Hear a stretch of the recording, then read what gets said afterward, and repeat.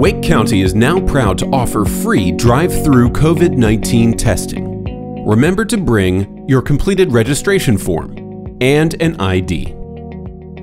When you arrive at the testing site, remain in your vehicle with the windows rolled up.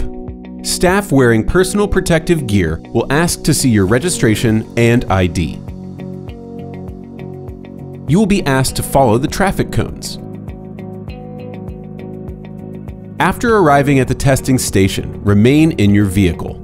Staff wearing personal protective gear will take your information and give you a self-testing kit along with instructions on how to collect your own sample.